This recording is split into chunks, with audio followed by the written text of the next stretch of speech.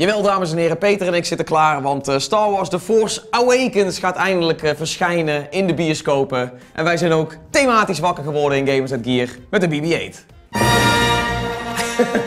Hoe vet is dat?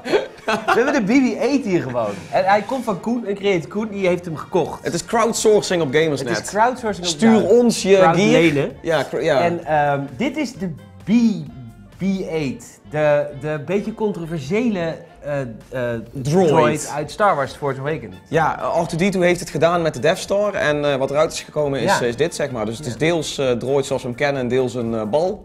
Maar, het is een bal. het is een bal. Een magnetische RC. Ja. Maar Ja. eh, dit is natuurlijk al meteen de vetste Star Wars goodie die ze hadden kunnen bedenken, waarschijnlijk in die hele film, ook al hebben we hem nog niet gezien. Hij is 170 euro. Ja, En, dan heb je eh, een bestuurbare droid. Dan heb je een bestuurbare droid. Die, ja, we hebben heel veel sfeerbeelden gemaakt, dat zie je nu ongetwijfeld. Die gewoon eh, ja, te besturen is met je smartphone. Ja, zeker geen Windows Phone weer, Geen Windows Phone. tuurlijk, Uiteraard. zat eraan te komen. Dat staat eruit te komen. Android, iPhone, gemakkelijke app. Ik moet wel zeggen, ik vind de app sowieso al heel leuk ontworpen, omdat die heel erg, eh, ja, die, die, het, oog, het oog meteen Star Wars. Het is een Star Wars app. Ja. En hij begint ook met het Star Wars liedje. Als je hem opstart is het... Oh, kijk. En dan kom je al helemaal in de, in de vibe. En hij beweegt ook. Ja, maar Ja, ook zonder dat wij iets doen. what up? Hij kijkt naar me. Ja, Sup, hij kijkt bro. naar je. Ehm, maar wat kan hij allemaal? Wat zijn even een paar van de, van de features die, eh, waarmee, Hij- wat je eruit kan spoken? Hij heeft een aantal hele toffe features. Sowieso heeft hij voice recognition. Voice Je recognition. kan hem dingen, eh, di- dingen tegen hem zeggen. Ga ze dat doen. Oh, dat, is, dat Dan werkt dus al beter dan Kinect. Ja, nou, wat doe je flauw. Nee, ja. Over je eigen liefje. Ja, inderdaad hè. En eh, hij heeft eh, ook bijvoorbeeld, dat is heel tof, hij kan verschillende trucjes. Nou, dat kan ik nu wel laten zien. Ik ga niet zorgen dat hij beweegt, maar ik ga hem wel trucjes laten doen. Let op. Wat vet. Let op. Oh, wat cute. Maar wacht, hij rolt natuurlijk nog niet, omdat hij dus in dat docking station zit. Precies, dat is dus ook shot. de oplader. Die is ook al mooi. Die is ook wel ik. mooi. Staat ook mooi Star Wars op hiervoor. Ja, ja, ja, netjes. Brand. Brand. En ehm, het, het ding werkt natuurlijk helemaal magnetisch. Het is een magnetische bal en dit dingetje kan er ook af. Dan kun je er gewoon afhalen zo. Ja, En het is gewoon een magnetische bal waar die gewoon aan vast blijft zitten. oké. Dus dat is heel vet.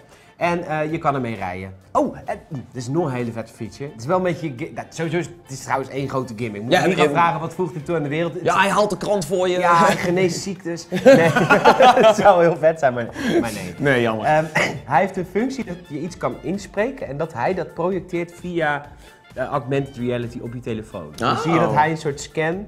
Dan kun je, Oh, oké. kun je inspreken Obi-Wan Help me, Kenobi, Obi-Wan hope. Ja, ja, ja, ja. En dan kan hij dan via je telefoon zeg maar, op de grond projecteren. Oh, dat is wel echt heel, heel ruik. Gamerset is love. Gamerset is life. Gamerset is love. Gamerset is life. Maar dat, ja, dat, ja, er zit geen beamertje, maar er zit wel een speakertje in, toch? Dus hij kan ook wat dingen laten horen, toch?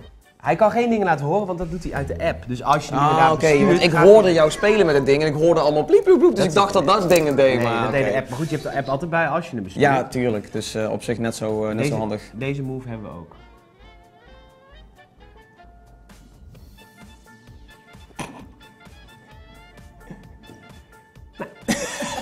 Wel, die heet. Ja. Ik, ik wilde hem heel graag hebben, maar ik vond hem alleen een beetje duur. Ja, 170 euro, maar dan heb je wel een van de, ja, toch wel schattigste eh, drones op aarde. En meteen een van de beste Star Wars goodies eh, ooit. Ja, dat denk ik ook. Hij is ook gewoon nog te- nog te krijgen, dus je kunt hem gewoon halen. Er is trouwens één functie die niet zo goed werkt en dat is de patrouilleerfunctie. Je kan hem instellen dat hij door je huis patrouilleert. Dat is wel hilarisch. Ja, dat moet ook gebeuren. Hè. Ja. Dat moet altijd veilig zijn. Nee, nee, inderdaad. En dan gaat hij je huis leren kennen, de omgeving. Moet je hem eerst aanzetten en dan eh, gaat hij een beetje... Wat vet. Maar het werkt niet zo goed. Nee, Koen maar... heeft het heel lang geprobeerd, maar het is niet zo dat het zo goed werkt. Nou, oké, dat is dan jammer. Plus Maar, het is eh, ook het leukste om mezelf te besturen. dat, dat lijkt me ook. Maar hoe lang gaat hij trouwens mee? Hij gaat drie kwartier tot een uur mee. Ja, het ligt natuurlijk een beetje aan hoeveel je hem gebruikt dan, neem ik aan. Ja, en hoe je hem gebruikt. En je kan hem binnen een uur weer opgeladen hebben. Oké, ja, dus dat is op zich nog wel netjes. Voor zo'n kleine drone is het een... eh, of ja, drone. eh, Is het, telt Ik als vind een drone? Het telt als een drone, ja, want het kan zichzelf besturen. Dus het telt Ja, als een drone. Maar het is een radiobestuurbaar autootje. Eh, balletje. balletje. Ik vind het serieus, 170 euro, het lijkt heel veel geld. Ik vind het best wel meevallen. Als je kijkt naar de... Wij zeiden 170 euro over wat, een toetsenbord of zo. En toen Ja. zei je van, eh, vind ik, ja, dat is natuurlijk een, een enorme smak geld, zegt Peter op een gegeven moment. Maar Ja. 170 euro voor een bal is een prima prijs. Nee, het is wel veel geld. Maar voor wat je ervoor krijgt is best oké. Hij is super mooi afgewerkt. Dat het sowieso Ja, dat sowieso, ja. werkt op een nieuw... Het is eigenlijk... Er zijn niet zoveel dingen die werken met magneet op deze manier. Het is echt super tof gedaan. Hij, Nee, ja, het is de app slim. is heel verzorgd. Ja, het is een bak met geld, maar als je dan toch fan bent... Dan Als je een fan bent, is dit premium Ja, goodie. ik heb de Lego Death Star thuis staan, die is 400 euro. Dus dan kan ik er gewoon twee van kopen. U hoort het, eh, Peter. schrik niet van een hoge prijs Nee, als als, het maar genoeg Star Wars biedt. Serieus, je kunt die jongen ook gewoon de Death Star, de echte Death Star gewoon verkopen. Als het maar gewoon, Ja, ja, je kan het niet betalen. ja, bijlenen. Ja, bijlenen op eBay. Hypotheek opnemen. De duo bellen. Kan ik maximaal bijlenen? Ja, ik heb het Nee, nee, ik verdien wel goed, maar de Death Star, joh. En dat ze bij duo gewoon zeggen, ja, dat is goed. Ja, nee, dat kennen we wel. ik ben nou de derde deze maand, meneer. Komt goed. Nee, maar een hele toffe Star Wars goodie. eh, 170 euro. Ja, als je een freak ervan bent, dan, eh, dan doe je het. Ja, Tuurlijk. Dan is het wel een hele vette action. Staat buiten kijf. En nu naar de film. Nee, nee, Zal ik even verklappen dat het begin november is dat we dit opnemen? Ja. En dat het heel moeilijk is om nu te praten over de film die aanstaande vrijdag verschijnt. Oh, die neger, die was tof, ja. ja, dat is, die is sowieso heel tof, want die is echt Star Wars fan. Ja, die, dat schijnt zo te zijn. Die is ja. echt Star Wars fan. Die was super blij dat hij al die shit eh, krijgt. Ja, props. Ja, dat zou ik ook doen. Maar het is ook Tuurlijk. hetzelfde met Samuel Jackson. Die heeft zichzelf ook alleen maar de Star Ja. Wars films ingeluld, zodat hij kan zeggen... Hé, hey, mam, kijk, daar ben ik. Ik ben een Jedi, daar, daar, Ja, daar. Ik heb een paarse gay lights. Ja, ja, super vet. Ja.